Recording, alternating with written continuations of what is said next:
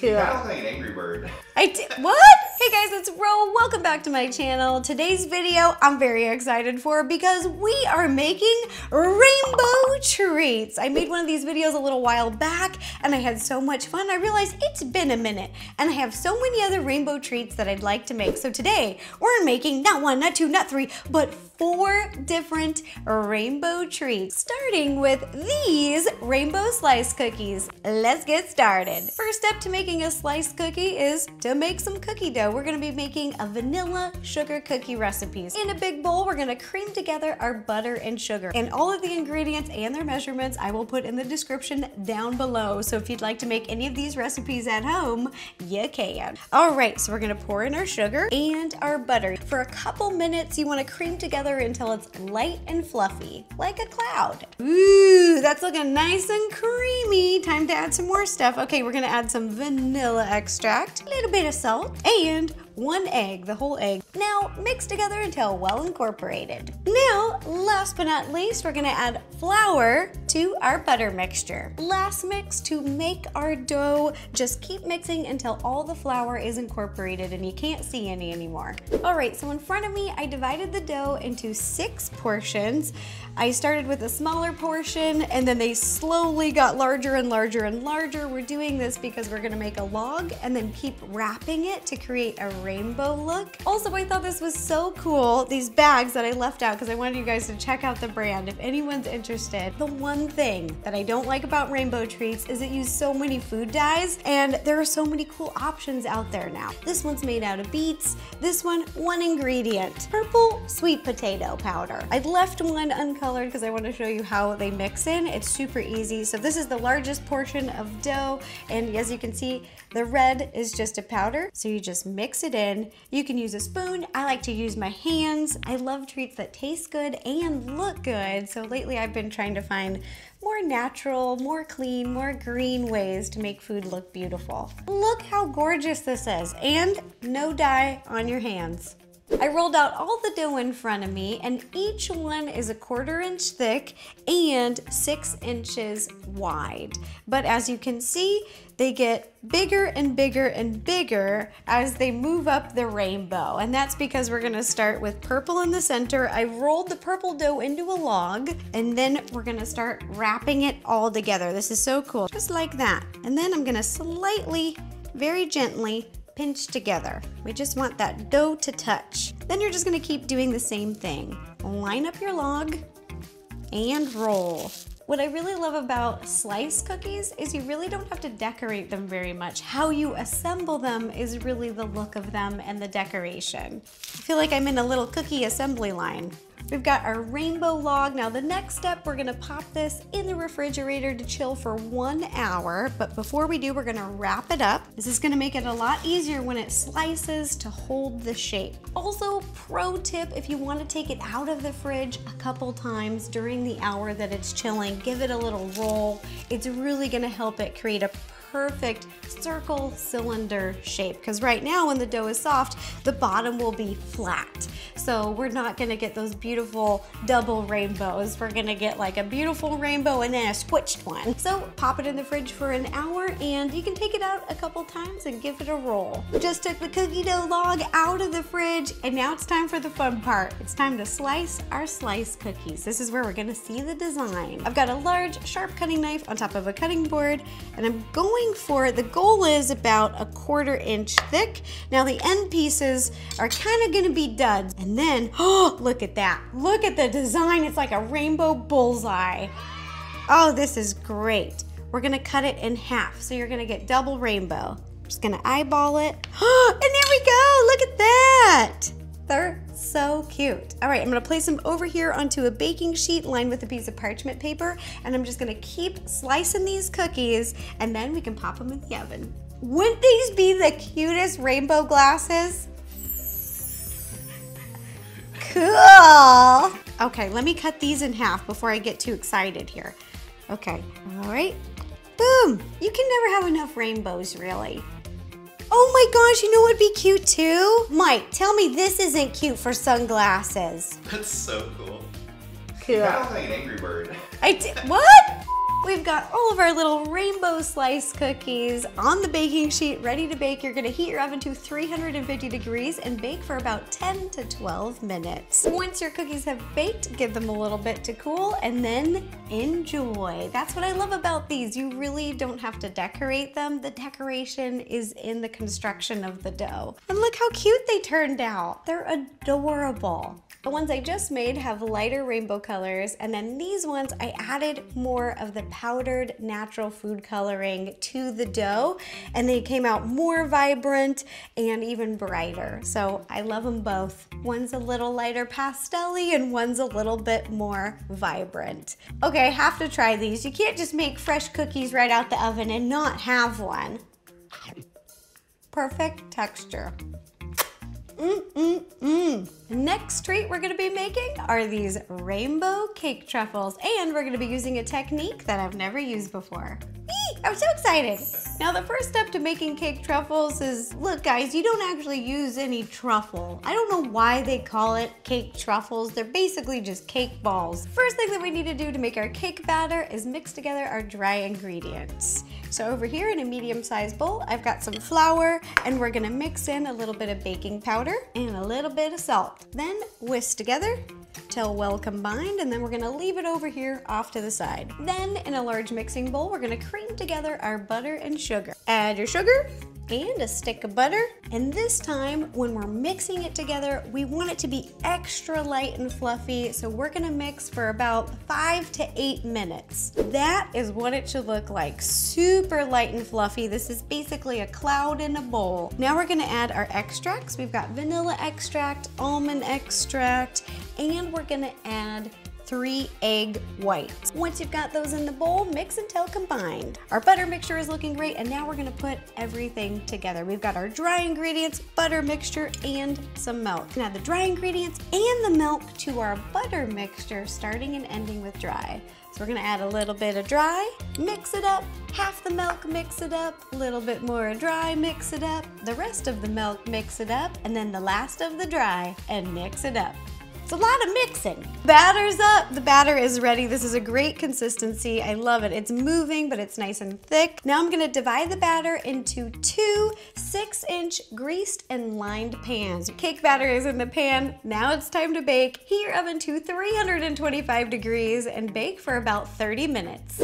Once the cakes have baked, give them plenty of time to cool, and then we're gonna crumble them in this big bowl. This is my new bowl. I have a lot of glass bowls. I have a whole set, but this this is the new one. This is the big boy. This part's messy and fun. You can use your hands, you can use spoons, whatever you wanna do. So hands is the easiest. So I just break part little pieces. You can rub the pieces together. That creates a great crumble. Just mash them. Cake is crumbled. Now you're gonna add one cup of buttercream icing. Usually when I'm making cake pops, I use ganache. That is my favorite. Really binds well, holds things together, and stays up on that little lollipop stick. But because these are just gonna be little little balls sitting on a plate, they don't have to have as much structural integrity. Next, using an electric hand mixer, we're gonna mix everything together. You're gonna keep mixing until it's kind of cohesive, almost like a dough, like a cookie dough. That's looking good. I'm gonna mix up the rest by hand. We started with the hands and now we're gonna end with the hands. Oh, this is great. This is the perfect consistency. Now I'm gonna divide this into six bowls and I'm gonna split them evenly this time. I divided the cake into six different bowls and colored them, except for this one. I'm just gonna pour it in there, boop, boop, boop, and you can use as much as you want. It just depends on how bright you want your colors. And then you just use your hands and you can just mix it up. Okay, there you have it. Look how beautiful. I've got a half a teaspoon and we're just going to scoop half a teaspoon amounts like so and we're just gonna scoop those little amounts onto a board or a baking sheet whatever you want or a plate then just keep doing that and do that for the rest of your colors. It does take a little while, so turn on your favorite movie or TV show or podcast, whatever. Just chill out, relax. This is mindless. It is amazing. We've got all of the cake scooped, and this is the goal. We're gonna roll them together to make these cute little rainbow cake balls. You just take one of the red, I'm gonna flatten it just a little bit, and then an orange, place it on top, then a yellow, then a green, blue and purple. Squish together, boop, boop. And then in your hands, roll. And just keep rolling until these seams right here where they're not connected start to really connect. Doesn't take too long, just a couple seconds for this one. These are so cute. I am obsessed. Once you've assembled all of your rainbow cake balls, we're gonna pop these in the fridge to chill for one hour. It's gonna make it a lot easier when we're dipping it into the chocolate. Just pop the cake balls out of the fridge and I've got my chocolate nice and warm over here. This is a melting pot if any of you aren't familiar. This is the one I made years ago, the Nerdy Nummies one. Okay, so what you're gonna do is you're gonna take one of your little cake balls and just plop it right into the chocolate. Just submerge it using a fork. I'm gonna pick up the cake ball and tap on the side. Tap, tap, tap, tap, tap, tap, tap. And that's gonna let the excess chocolate drip off the bottom. Then we're gonna come over here onto a baking sheet lined with a little bit of parchment paper and using a toothpick, I'm just going to push the cake ball. There we go. Oh no. Oh, go back. Go back. Oh, oh, oh, okay, that was the first one. That's okay, we're just warming up here. And while it's still wet, before it's set, you're gonna take a little pinch of sprinkles, put them on the top. Now we're just gonna keep doing this. I only pulled out some of the cake balls because this recipe makes 40, 40 of these. So you could have a party for all your friends and family. This is a treat everybody can enjoy. And ta-da, there you have it, rainbow cake truffles or rainbow cake balls, basically. I cut one of these in half so you could see inside and how beautiful they are. I hope you guys try this recipe because not only is it adorable, they're delicious. Mm, mm, mm. I'm gonna show you how to make these rainbow popsicles. To make these rainbow fruit popsicles, we're basically making a smoothie. All of them, the base is gonna be banana, a little bit of Greek yogurt, and for this one, I'm adding a little bit of pineapple. I'm gonna be making them in different color batches just to keep the colors separate. Let's start with blue. So you're gonna add your bananas, pineapple, Greek yogurt, the blue powder, which is made out of butterfly pea flower. Look how beautiful it is. And then I have a little bit of water off to the side in case my smoothie is a little too thick and I need to thin it. I'm using my heavy duty blender. You don't need one of these. This is just, you know, I went a little hashtag ridiculous one day because I wanted to make the perfect pina colada.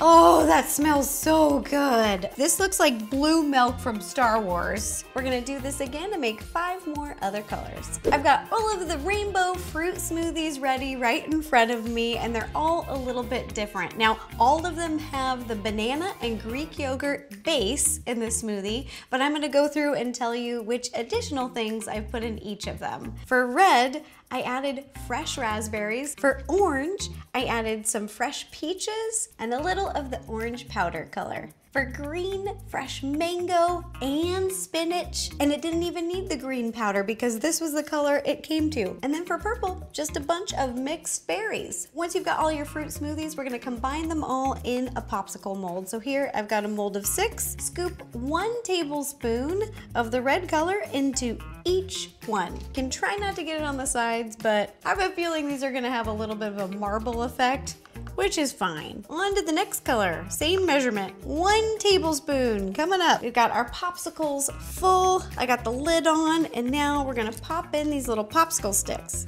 Now our popsicles are ready to freeze. I'm gonna put them in there overnight just to make sure they're fully frozen. I made a bunch of these. I made these ones last night and I'm about to pop them out. Now everybody's popsicle mold is different, so let's try to pull one out here. We're just gonna give it a wiggle. Oh, oh, I think we got it. It's beautiful. I think this is the most beautiful rainbow fruit popsicle I have ever made. I love it. I hope you enjoy this rainbow treat as much as I'm going to.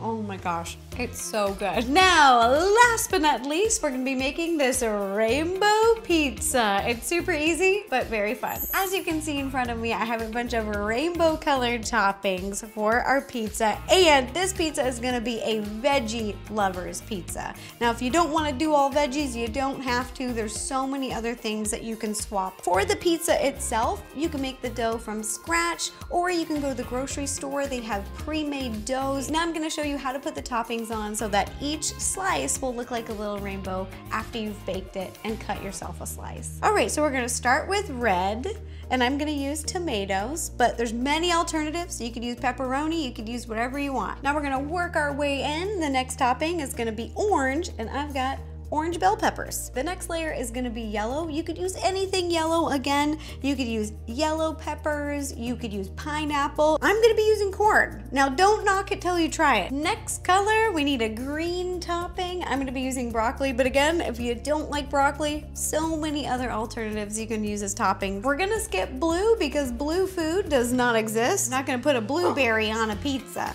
I don't know why I'm okay with putting a pineapple on a pizza, but not a blueberry. I'll have to think about that. So we're just gonna go for purple and I'm gonna be putting a little bit of onions. I'm gonna heat my oven to 450 degrees and bake my pizza for about 20 to 25 minutes. Now this is really gonna depend on which dough you're using and ta-da! Here are all of the rainbow treats that we made today. I hope you guys enjoyed this video. I had so much fun making more of these. I really love all these treats that we made today because they were all made with natural ingredients, flavors, and colors. This is the first time that I've ever done something like this, and I hope to be doing a lot more of it. So the treats that we made today were rainbow cake truffles, these delicious rainbow sliced cookies, rainbow fruit popsicles, and this rainbow veggie pizza, which I'm about to cut up and have for dinner. I hope you guys enjoyed the video. You got some ideas for some fun treats to make this summer. And if you guys have any other ideas for any other videos you'd like to see me make, let me know. Leave me a comment down below. Also, if you like this baking video, don't forget to give this video a thumbs up, click subscribe, it's free, and ring the bell to receive notifications every time I post a new video. All right, thanks again for watching, you guys. Bye-bye. Also, if you'd like like to watch any other videos, you can click up here or up here.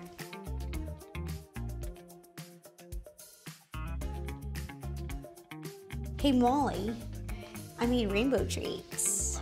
Just finished. Molly's done. She just came out of the office.